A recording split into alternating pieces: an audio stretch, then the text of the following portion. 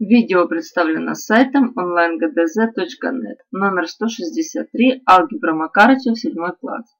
Постройте в координатной плоскости точку, у которой абсцисса равна 3, а ордината противоположна абсциссе.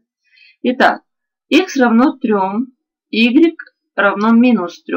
3 и минус 3 противоположные числа. Значит, точка имеет координаты 3, минус 3. Назовем ее точку А. Абсцисса равна минус 2, а ордината на единицу больше. Итак, x равно минус 2, y равно минус 2 плюс 1, минус 1. Пусть точка B имеет координаты минус 2, минус 1. Абсцисса равна 1,5, а ордината на единицу меньше.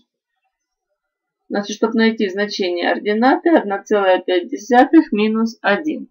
0,5. Координаты точки С 1,5, 0,5. Абсцисса равна 6, а ордината противоположному числу. x равняется 6, y равно минус 6. Пусть точка М имеет координаты 6 и минус 6. Если вы хотите увидеть больше видео, подписывайтесь на наш канал.